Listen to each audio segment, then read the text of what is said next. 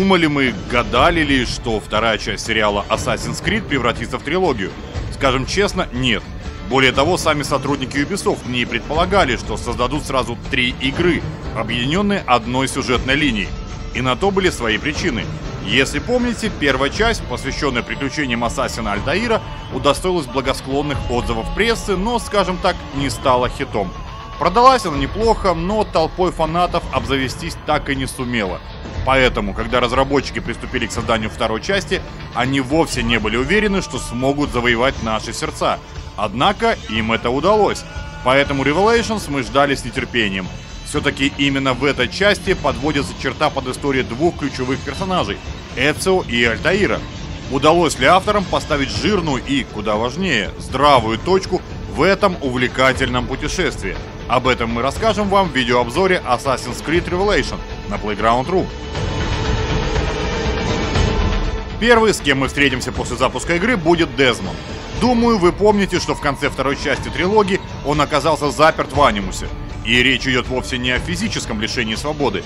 Под замком оказался разум нашего героя. Очнувшись, мы обнаруживаем, что застряли на неизвестном острове. Это наше подсознание, расколовшееся на несколько частей. Если мы хотим очнуться от летаргического сна, то должны, скажем так, подчинить его. На острове мы встречаем 16-го, который, как и Дезмонд, застрял внутри программного кода Анимуса – мы будем изредка с ним переговариваться, а также исследовать несколько футуристических, непонятных и, скажем прямо, пугающих миров. Из этих небольших путешествий мы узнаем много интересного о прошлом Дезмонда, о его родителях и детских годах. Жаль только, что предложенные нам уровни загадки получились, мягко говоря, несуразными. Помимо информации о прошлом герое, ничего интересного здесь нет. Впрочем, в компании Дезмонда мы проведем совсем мало времени – Основным действующим лицом Revelations по-прежнему является ушлый ассасин Эцио. По сравнению с предыдущей частью, наш герой заметно постарел, но при этом не утратил легкости и даже прибавил в плане кровожадности. Во многом это заслуга нового режима «Орлиное чувство». Теперь наш герой может легко найти в стене потайную дверь или вычислить из ряда гостей предателя и тут же расправиться с ним – и вот с этими новыми способностями Эцио прибывает в Константинополь. Здесь его встречает горячий и безбашенный Узуф Тазим, глава местного ордена ассасинов. Он рассказывает нам, что город просто-таки кишит тамплиерами, которые, как сказала бы Мила Йовович в пятом элементе, задумывают в очередной раз устроить большой бадабум. Помимо того, что Эцио предстоит остановить коварных заговорщиков, ему еще необходимо отыскать 5 дисков ключей, рассказывающих истории из жизни Альтаира – как только подобный ключ оказывается в наших руках, мы переносимся на несколько веков в прошлое. Здесь наш старый знакомый Альтаир ведет свою борьбу с тамплиерами, мечтающими захватить мир. Увы, как и в случае Дезмондом, сюжетная линия Альтаира получилась короткой, какой-то невнятной. Мы возвращаемся в далекое прошлое, узнаем подробности его жизни, не вошедшие в оригинальную игру. Но для эпичного завершения трилогии слишком уж небольшая у него роль оказалась. Такое ощущение, что сценаристам так и не дали развернуться на полную катушку и показать нам все, на что способен легендарный Ассасин. Если же говорить о сюжете в целом, то ничего выдающегося или оригинального не ждите. Ролики в большинстве своем поставленные на движке не производят сильного впечатления. От финала мы ждали явно большего. Сам же Константинополь произвел на нас смешанное впечатление. Сам по себе новый город нам понравился. Восточный колорит, огромные мечети, женщины, закрывающие каждую пять своего тела от любопытных взглядов окружающих, торговцы, таскающие на головах необъятные подносы со сластями – в общем, все атрибуты восточного города присутствуют. Интересно реализована и архитектурная часть проекта. Дело в том, что Константинополь – это город, который стоит на нескольких холмах, так что нам постоянно приходится то подниматься вверх по бесконечным каменным лестницам, то кубарем нестись вниз, каждый раз прикидывая, на каком уровне находится искомый нами объект или человек. И вот тут возникает первая и самая серьезная проблема восприятия данного мира – Дело в том, что помимо наносной шелухи, сам по себе город не сильно отличается от того, что мы видели в предыдущих частях. Точнее, Константинополь живет по тем же законам, что и Рим из Бразерхуд. В каждом квартале есть свои магазины, кругом бродят стражи, охраняющие покой граждан. На небольших площадях выступают ораторы, которые за небольшую взятку всегда с радостью согласятся на время забыть о подвигах Эцу и перестать стращать толпу. Нищие стайки гоняются за вами, выпрашивая монету. То тут, то там можно найти слоняющихся без дела наемников, готовых за скромное вознаграждение биться до потери пульса на вашей стороне. В людных местах по-прежнему можно найти повозки с сеном или заросли ярко-белых цветов, которых так приятно прятаться от стражников, рыщущих в поисках наглого ассасина. В сухом остатке получилось следующее. Внешний город изменился, а внутренний остался нетронутым. Так что какой-то оригинальности здесь речи не идет. С таким же успехом мы могли бы остаться и в Риме. А вот что в корне изменилось, так это контроль территории.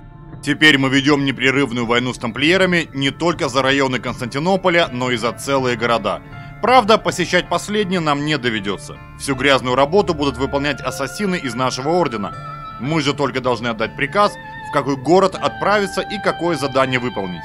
Чем сложнее миссия, тем больше денег и очков опыта вы получите, и тем слабее станет влияние тамплиеров в регионе. Постепенно ваши подопечные будут развиваться, расти в уровне и мастерстве – Итак, шаг за шагом вы должны будете не только создать армию профессиональных наемников, но и отвоевать себе большую часть континента. Защищать придется и свою собственность на территории города. Для этого авторы ввели в игру новый режим – защита квартала. Фактически это своеобразная вариация на классическую головоломку в жанре Tower Defense. Мы выстраиваем заграждения, выставляем караульные посты и оккупируем близлежащие крыши – Затем тамплиеры начинают нападать на нас одна волна за другой. Мы же должны отразить их атаку. В целом, нововведение не вызвало у нас никаких отрицательных эмоций. Положительных, признаться, не вызвало тоже.